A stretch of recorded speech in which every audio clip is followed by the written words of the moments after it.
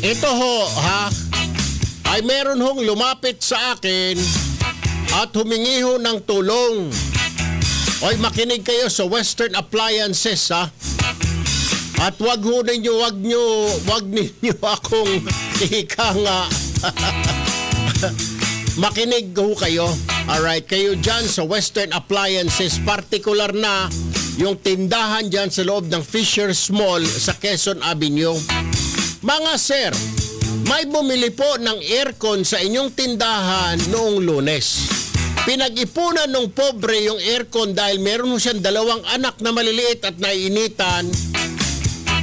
O- OFW yung bumili. Seaman. Pinag-ipunan 32 mil ang aircon. My goodness.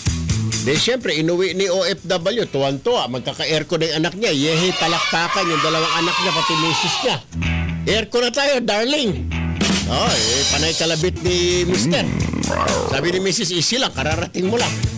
Mahaba-haba pa hanggang Disyembre ka pa rito. Aba, nagising sila dahil may kumakalampag sa loob ng aircon. Akala nila may basketball doon sa loob ng aircon. Kumakalampag yung air condition. Tumayo sila laki, tinignan, baka may duwende, napasok ng duwende o daga. Wala! Bagkos nagyayelo. Hindi na bumubuga ng lamig. Ang ginagawa ng aircon, na gumagawa na ng yelo. Aircon po yung binili ng OFW, hindi refrigerator. Nagyelo yung pipe, nagyelo. What? Eh, nagalit ang misis niya. Darling, aircon ang pinabili ko, hindi refrigerator at hindi rin freezer. Sabi niya, Ling, nakalagay aircon, Panasonic aircon. Ay, bakit ngayon? Ah, may yelo. Hindi ko kailangan ng yelo. Ang pobreng OFW bumalik sa Fisher Mall, isinusole ang aircon. Aba, ang sabi sa kanya, Brad, Ah, antay-antay lang yung mga technician ng Panasonic ay nasa labas lahat. Siguro within the next few days darating. Eh namasahe yung pobre, sinakay sa taxi. So sinuli na naman niya, dala-dala na naman niya yung aircon. Pinagalitan na yata siya ng misis niya. Dala mo na naman yan! Dito na ho, lumapit ng tulong ang mama sa akin. At pinakausap na ho sa akin ng manager, wala na ho matakbuhan eh. Ang sagot ba naman sa akin ng manager, Mr. Tulpo, ito ho ang exact words ng uh, store manager. Makinig ho kayo. Kayong mga nagko-comment sa Facebook ko, Facebook page, makinig kayo, wala kayo, ako ang nandoon at yung manager. Sinabi ko, Sir, paano ho ito? Gusto pong sole, two days pa lang naman. Mr. Tulpo, as much as possible, eh, wala ho kaming return at exchange policy. Sabi ko, sir, nasa batas ho yan. Ayo, pasensya na ho. Pero, eh, since kayo ho yan, eh, antay-antay lang ho bukas. Darating po yung aming technician. At uh, as per approval pa ho ng area manager. Tignan mo, namasahe na yung pobreng OFW. Pera niya, hindi po siya nagre-refund. Western Appliances. Ang sinasabi niya, palitan yung aircon niya ng ibang aircon yung hindi nagyayelo. Hindi aircon na refrigerator. Ang gusto niya aircon na bumubuga ng malamig na hangin. Binigyan niyo siya ng rep. Aircon na rep. Pwede nga raw maglagay ng ice candy doon sa loob ng aircon. Oh. Ay sabi ko ganun ho ba? Oho sir. Eh kailangan pa ho nga aprobahan ng area manager. Eh, sabi ko na sa pobre, umalis, lumayas ka na dyan para ka namang patay gutom. Customer ka, winawalang hiya ka. 32,000, mabuti sana kung 50 pesos yung binili mo. O 250 o 500 na electric pan. Aircon. Pinag-ipunan. Yung mga salita ng salita dyan, ay alam ko naman mga empleyado kayo ng Western Appliances, walang problema. Tandaan ho ninyo yung pagbumukha na ito. Ha? Nandito ho ako, ha? Para tumulong doon sa mga walang boses. Yung lumapit ho sa akin, wala hong boses. Eh kung ako na nga ho nakiusap, eh, ginano ng tinarantado ng tindahan, eh mas how much more yung tao. Paano kung isang Tom Anakta na cameraman ko ang may bit-bit na aircon na pasan-pasan niya? Paano kung isang Miko Kalonge na aking ah, utility, eh, ganun din? Sus Maria Josep. Paano na lang? O si Ivy Grace Rivera pumunta. May daladalang gas range ayaw, ayaw sumindi dahil tubig ang lumalabas sa halip na apoy. Papalitan nyo ba? Wala ho akong pakialam, magalit kayo sa akin, ibas nyo ako ng ibas. Hindi po ako nandito para i-please kayo. At hindi rin ako kumakandidato bilang politiko na hindi, hindi ko gusto na banatan ako. Gusto kong banatan nyo ako mga ulul. Dahil pag pinanindigan ko ang isang pobre na walang boses, paninindigan ko all the way. Di baling makalaban ko ang gobyerno. Di baling makalaban ko ang mga sekretary kung sino pang Herodes Impacto dyan. Ako ang boses ng mga walang boses. Kagaya ng OFW na yan, pinag-ipunan niya, pinapaikot-ikot lang siya, ayaw siyang tulungan, lumapit sa akin, kaya ako ang nagsalita para sa kanya. Ngayon, kung kayo sa Western Appliances, hinihikayat ninyo mga empleyado ninyo na banatan ako na banatan, walang problema. Sanay ako dyan. Sabi ko nga, ha? Walang problema na madaming magalit sa akin dahil trabaho ko ang bigyan ng boses sa mga walang boses. Yung mga ordinaryong tao, kagaya niyan, nagpapapalit lang ng binili nila, ayaw palitan, ako yung boses. Diba? Eh, wala akong pakialam, magalit kayo, mag-bash kayo na mag-bash sa akin, wala akong pakialam. Dahil wala akong planong tumakbong politiko, kailangan ko ng mga boto ninyo, mga hindot kayo. Hindi ako tatakbong mayor, gobernador, congressman, wala akong pakialam. Huwag ninyo akong botohin dahil hindi ako tatakbo na politiko. Hindi rin ako artista.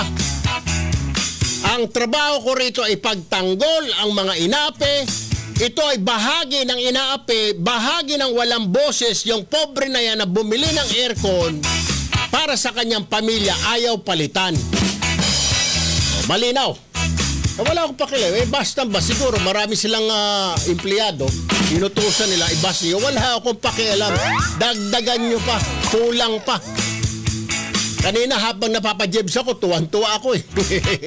Sinasabi nyo, hambog ako. Napalabas tuloy yung jebs ko. Marioset, pagagalit kayo dahil sinita kayo? Abay, pera ng tao yun. Hindi niya, pin, hindi niya tinai yun. Hindi niya pinulot, pinaghirapan niya. Kami mga nasa, bakit ako nagpapalit ako, pinapalitan man. Pinapalitan nga, boy, maswerte ka. Eh, iba yung nakaharap ko eh. Eh, yan ho, totoong nangyari. Diyos ko po. At paninindigan ko ho ito. Eh para magkaalaman tayo na mali yung ginawa ng ah, tindahan ninyo sa Western Appliances eh. Tatawagan ko ho mamaya ang DTI. Ano ba talaga ang batas? Sino ba ang pwedeng magsoli at hindi pwedeng magsoli ng binili? Tatawagan ko rin ang Business Permit and Licensing Office ng Quezon City para magkaalaman tayo. Eh kung, mag, kung mali ho ako, di magsusori ako sa Western Appliances. Pero kung mali kayo, palitan ninyo parang awa nyo na yung aircon ng mama na yan. Correct ka dyan. Anyway, oras po natin, alas 10.20 ng umaga. Diyan lamang ho kayo, wag ho kayong bibitaw, magbabalik agad ng tutok Tulfo Reload. Alright. Kahapon ho, habang nasa iba yung dagat ang inyong lingkod, naka-FaceTime ko o video chat yung store manager mismo ng Western Appliances sa Fisher Mall. Dahil lumapit po sa akin, madediretsuhin ko na ho, isang kamag-anak na OFW na seaman. Pinag-ipunan niya ho dahil yun ang request ng misis niya at ang kanyang dalawang paslit na anak na mabumili ng aircon. Dahil napakainit nga naman. Binili. Eh pagkagabi, may tumatakbo-takbo mga tao doon sa loob ng aircon. At sabi ng misis niya, aircon ang sinabi ko, hindi rep. Bakit yelo ang pinoproduce ng aircon na yan? Isinole, kinabukasan, ay ang Tuesday, Wednesday. Ang sabi sa kanya, Mister, ah, titignan muna ng ating mga technician yan. At pagkatapos, depende kay area manager yan kung aaprubahan. Anak ng teteng. Ang sagot naman sa akin ni area ma ni, ni Irma, ng store manager, Sir Erwin, as much as possible po, iniiwasan po namin yung mga return at exchange. Sabi ko, Sir, paano kung sira? Eh kaya nga po, ipapaalam pa sa area manager. Eh, what a better way is si Beth Arnaldo pala, ang area manager ng Western Appliances, okay? Magandang umaga, Miss Beth Arnaldo, ma'am. Magandang umaga po, Sir Erwin. Opo. Opo. Ah, si Beth Arnaldo po. Opo. Opo. Kayo po yung area manager, hindi po kayo yung store manager ano, ng ah, Western Appliance sa Fisher Mall. Tama po, sir. Alright. Ah, may kausap po ako kahapon, hindi ko na ho babanggitin ang pangalan. Ayaw ko naman ho siya mapahiya dahil hindi naman ho yung tao ang problema. Mukhang yung inyo pong kumpanya siguro, ang inyong pulisiya, ang hindi po ako sang-ayon. Ano po? Tinanong ko siya, tama po yon alam niyo na siguro ang kwento, yung ah, ah, tao, overseas worker po yon seaman, nag-ipon, bumili ng aircon para sa bahay niya, ah nagyeyelo, hindi, walang lumalabas na lamig, sinole sa inyong tindahan sa Fisher Mall. Opo. Ang sabi sa kanya ay wala to ng technician namin ah, ay nakalabas. Kaya ho niya binalik doon para marinig ho ng inyong mga ti- Eh hindi malanda ho sinaksak yung aircon para marinig yung ingay. May dala pa ho siyang video, binidyohan niya na nagyeyelo. Hindi rin daw ho pinansin. Sabi, oh, hintayin niyo lang ho muna.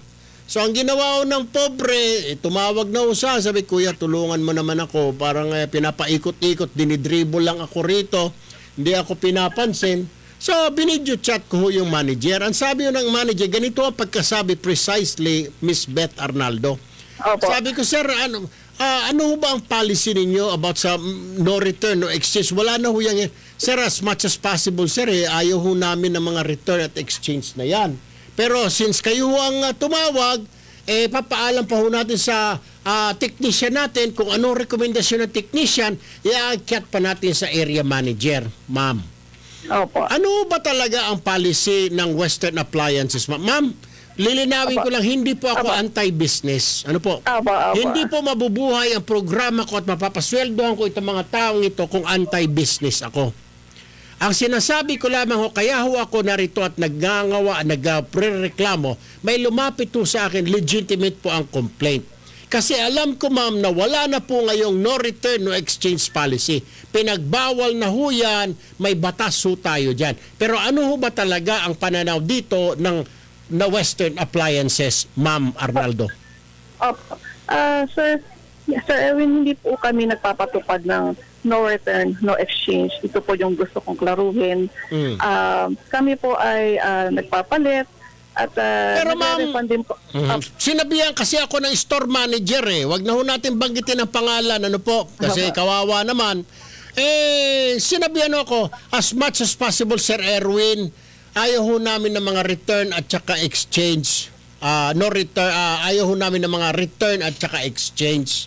Pero dahil po ikaw ang nagrereklamo, eh, papasilip namin sa technician at i ah, ah, ino-notify namin ng area manager. Eh medyo doon ho ako nagalit ma'am. Ang dami namang pasikot-sikot. Pwede naman niyo siguro sabihin, sige sir, iwan na lang ho dito ng complainant yung aircon. Tingnan po ng technician namin bukas, balikan niya at papalitan ho natin kung talagang may depekto. Di po ba ma'am? Eh kaso, Okay po. sinama pa kayo, area manager, kailangan pa ng approval ng area manager. Mukhang hindi ko ho alam kung ano hong ah, ah, problema ng inyong store manager, ah, Ma'am Beth. Opo. Ah, sir, ito nga po, tulad nga po ng nasabi ko, hindi po kami nagpapatupad ng no return or exchange dahil Mm. yun naman po talaga ang ah, DTI mandated. Kami po ay nakasunod din ayon po dun sa kung ano nga po yung minamandate nila. Ah, okay, ah, ah, sir, regarding po kasi dun sa no sa sinasabi niyo na yan, ah, meron po talaga kaming ah, polisiya na pinasusunod ah, na ayon po sa brand. So Hmm. kung ang ang standard procedure po namin sir is kapag po merong nagbalik sa amin ng unit, ah, itinatawag po namin sa brand para po mapapuntahan naman ng kanilang service technician. Okay? At opo, at mula po naman doon sa kaunaman ng report po na ibibigay nila sa amin, ah, doon naman po ko kami ayon doon sa bibigay nila, ilalabas nilang report, doon po kami magde-decide. Kung Pero ano po yung kailangan pa bang paabutin sa level mo yan, ma'am? Hindi po ba pwede mag-decide dyan ang store manager or ang supervisor? Kasi ma'am, whether you like it or not, sapat na ho, ano pa ho magiging papel ng store manager kung hindi po siya makapag-decide, ma'am? Di po ba? Pero baka lang po ang ano, ano ko lang kasi po parehas naman tayong wala doon sa kumbaga hindi ko rin po ano ko ano naging pag-uusap. Baka lang Ma'am, po kausap ko po- eh. Naka-video call po kami, ma'am eh. Opo. Baka lang po sir nagkaroon lang po ng miscommunication sa pagitan lang po ng pag-uusap. Kaya kung ano man po sir yung ah, nasabi niya na hindi naging maganda siguro po sa pandinig niyo, ako na po ang humihingi po ng pasensya sa Ma'am. nangyari. Ah, siyempre ma'am, ah, wala naman ho tayong problema diyan. Kung wa- kung tinatanggap ho ng ah, kumpanya ang pagkakamali ho, lahat naman ho tayo nagkakamali. Pag nag-apologize ho, dapat tanggapin. Pero lilinawin ko lamang ho ah, next time, pakituruan po ang inyong mga empleyado ha, hanggang sa inyong mga store manager na hindi po ganong klase ang customer relations. Ma'am, sa maniwala ho kayo hindi, ako po ay nagtrabaho sa Amerika bago ho ako pumasok sa militar. Nagtrabaho po ako as a assistant store manager ng isang tindahan. Ang polisiya po ma'am doon sa Tate, pag isinoli may resibo, sabihin mo lang kung bakit sinusoli mo, papalitan ho yun ma'am, kahit na yung cashier laang. Pero kung $100 and up na, tatawagin yung assistant store manager at sasabihin, Sir, pinapapalitan niya ito.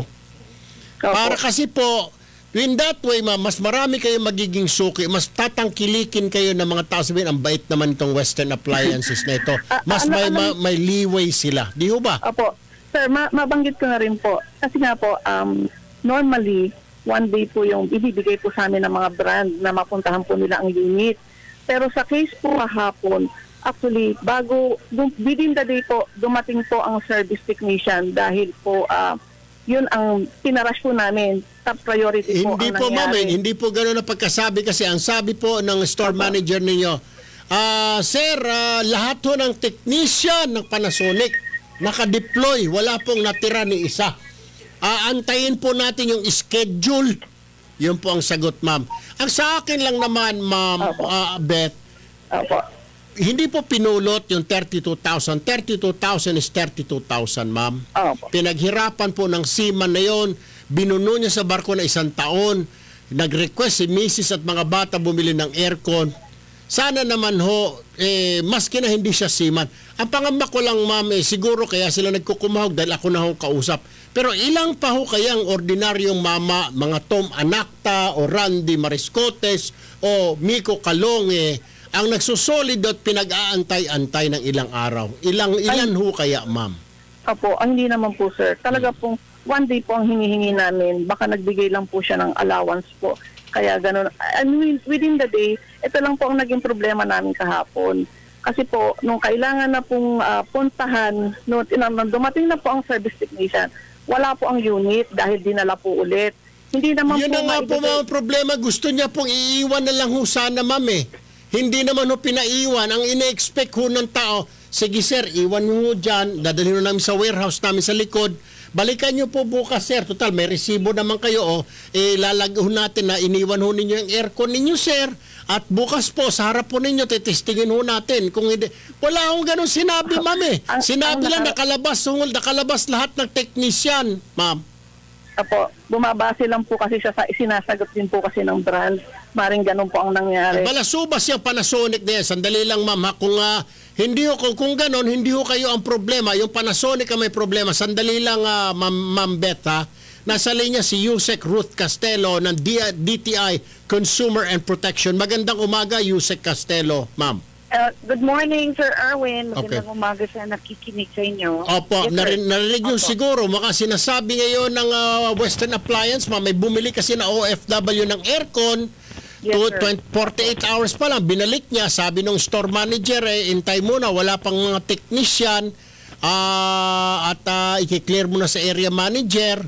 Ah, pagkatapos ma, pero sinasabi ngayon ng area manager, ang may mukhang ah, itong brand daw ho ma'am yata ang nagdidili-dali. Pa- Paano ho ba ma'am ito? Kunwari may problema ako, kunwari Panasonic, yung Panasonic na, bumili ako ng aircon na Panasonic sa Western at hindi nagana. Ano ho ba dapat ang actuations ng kumpanya na ito ma'am, ng Panasonic na ito? Ang ang wala po tayo sa brand, Sir Erwin. Kung sino po yung nagbenta ng retail, kailangan aksyonan niya na agad. Kasi ang consumer naman po, kagaya din sa sitwasyon na narinig ko sa inyo, wala pong engagement si consumer, yung buyer ng OFW, kay Panasonic. Doon po niya binili yun doon sa store. So yung store po ang kailangan sumagot sa kanya, bahala si Western makipag-usap sa Panasonic. Hindi po yung consumer. Yung ah, pag-antayin, ma'am, kasi sabi ro, eh, si lahat ng, well, tinatawagan naman siguro ng ah, Western yung ah, Panasonic, pero lahat ng kanilang technician ay nakalabas, eh mag-antay-antay lang daw ho muna. Tama ho ba yun, ma'am? Sasabihin ng Panasonic, mag-antay-antay lang muna yung consumer dahil lahat ng technician nila ay nakalabas? O ang tamang actuations is, iwan nyo dyan sa tindahan, pupuntahan namin bukas, titignan namin at pag defective, papalitan namin. Opo sir, pero kung ganong sitwasyon na ang ang defect naman nung nung air conditioning unit, yung consumer mismo ang nakakita, yung nakapili, ibig sabihin hindi po siya mahirap na malaman or makita. Hindi po kailangan ng technician na magsabing ani mali nga dun sa aircon dahil kung alam po ng consumer, ibig sabihin alam po rin ng mga sales agents nila. Kung ano Ang, ang gusto lang nga niya, Ma'am, Ma'am uh, Ruth, is isaksak sa saksakan yung aircon para marinig nila, ma'am, na maingay yung aircon. Eh, ayaw naman daw ho. Sabi, antayin ng technician. Ang ginawa pa nung pobreng OFW, binidyohan niya pa ho para may ebidensya sa para paniwalaan. Hindi naman tinignan yung kanyang video, ma'am. So, nasayang yung kanyang effort. Kaya napilitan hong tumawag ho sa akin, humingi ng ayuda, Yusek. Pero ngayon, eh, minyo ng apology itong ah, kumpanya. Siguro ang may problema talaga dito yung Panasonic, ma'am. Ah, opo sir, pero yung nagtitinda mismo ang kailangan na umayos agad nung whatever, kung papalitan ni Panasonic sa kanya or i-repair yung unit, sila na mag-usap. Pero as far as the consumer is concerned, doon niya kay Western binili. So sa Western po, kung merong immediately ah, immediately available na item na of equivalent value or kapareho nun, ipalit niya na agad. I-replace niya na agad. So hindi na kailangan pa sabihin ng Western na sandali lang, tignan mo na ng technician na Panasonic ha. Hindi na ho ganon. Dapat. Eh kung simpleng ordinaryong tao po naririnig na yung tunog ng aircon, eh di alam na rin nila yun pag sinaksak, pag pinaandar nila yun doon sa kanila. Ba po, sir? Opo, understood. Anyway, Opo. Yusek Ruth, tanungin ko na lang po yung ah, lumapit po sa akin. Ako magre-reklamo o hindi. Salamat po, Yusek Ruth Castello, for your time. Yes sir, sa DTI po hindi po pwede ipadala sir anytime. Okay, salamat po ma'am. Mabuhay po kayo sa DTI. Salamat po. Ma'am Beth, Ah, Ma'am Beth, Opo. ganito na lamang ho. Eh, kayo na ho ang bahala. Narinig nyo naman ho at alam ko naman ho kasi ang batas ma'am, doon ho Opo. binili sa tindahan ninyo. Wala ho kayo doon. At hindi ho ako nagagalit sa inyo. Ang nagagalit lang ho siguro sa pamamaraan po ng inyong tindahan to how to handle problems such like this, ma'am. Hindi ho ko hindi ko sinisisi yung tao, baka kulang sa dunong, kulang sa training, eh baka kailangan lang ho i-training. Next time, ma'am, is since nag-apologize naman ho kayo, eh tatanungin ko na lang si complainant kung anong gusto ho niya. Eh sa amin lang ho, tinawagan ko ho ang inyong atensyon po kahapon, ma'am. Hindi ko kayo gustong ipasara, ma'am. Ano po, ang gusto ko lamang po, ituwid po yung dapat ituwid, ah, ma'am Beth. Ano po?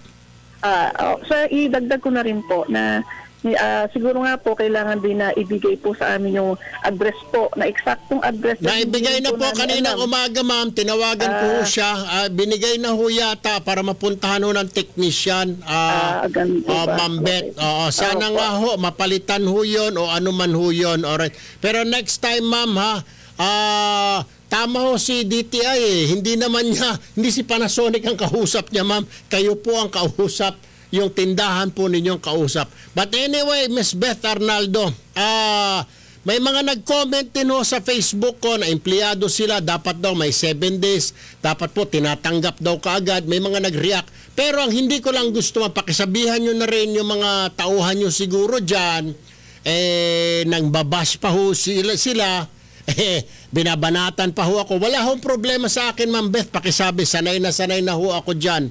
Hindi po ako tumatakbong politiko. Hindi ko po kailangan ng boto. Hindi ko kailangan ng ika nga.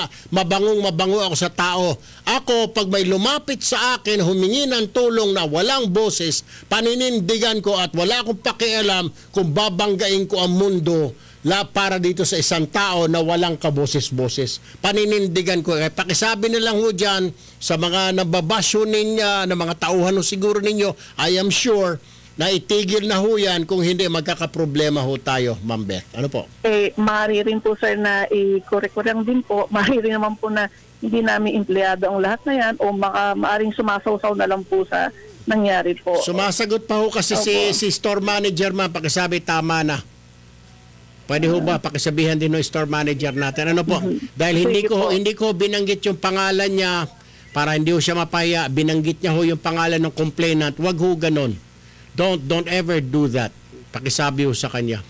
Because ah, hindi ho very professional ho yun. Hindi ko na nga ho binanggit yung pangalan niya.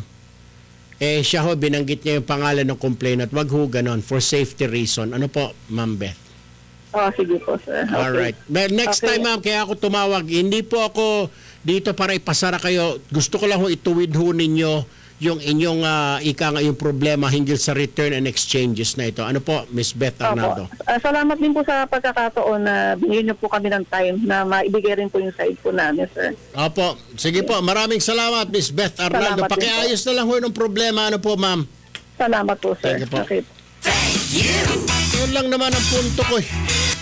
O, narinig mo, di ba? Bakit mo pag-aantayin yung tao? Eh, hindi naman si Panasonic ang kausap niya. Pausap niya yung salesman ng Western. Bahala sila magsambunutan ni Panasonic. Sabi ni pa, hindi ko tatanggapin yan. Kasi hindi naman pinaparipan ng OFW. Sabi, palitan nyo lang ho, parehong model. Oo. Yung sabi niya, yung, yung hindi po nagyayelo, ayaw, may, may na ho sa bahay. Ang gusto ko po, aircon. Di, hindi tuloy nakasiping tuloy yung OFW ngayon. Ay, bakit ba init? Paano kasi siping? Sige nga. I love you. Oh, isang taon sa barko? Oh, kaya nga, kararating lang last week. Gusto na sumakay ulit. Gusto niyang sumakay kay Mrs. anyway, ay, ito paalala ko. Doon sa mga nanonood ho na nag-comment sa Facebook, wala akong problema. Meron ho tayong karapatan. We have all the right. Ha? Ika nga, ha? The right to freedom of expression, freedom of speech. Wala pong problema.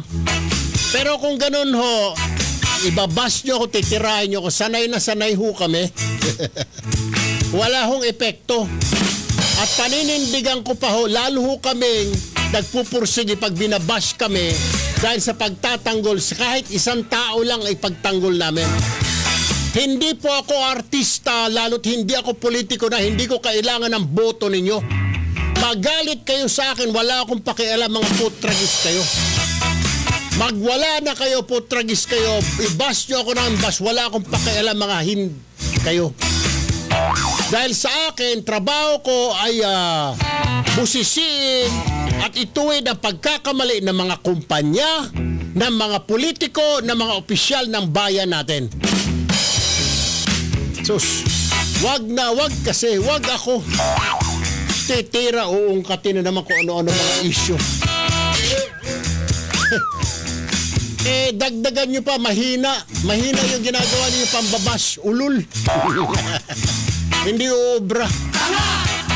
Pag kasi kami, kinampihan namin ang isang nagreklamo at paninindigan namin, hindi di, di bali na na makaaway namin ang buong mundo basta ipagtatanggol namin ang karapatan nitong walang boses na ito. Kagaya niya, walang boses. O di kanina, nagkukumahog sila lahat. Tawag ng tawag na sa kanya. Kuya, tawag sila ng tawag sa akin. O sabi ko, sige, kahapon ho, hindi ako pinapansin, nandun ako sa Santabi. O eh, ngayon eh, tawag sila ng tawag. Eh, sabi ko, sige, kausapin mo na. Halos kulang na daw, eh, libre siya ng ah, merienda. Huwag lang magsumbong. Bueno, wala na ho tayong oras. Alas 11.32 ng umaga.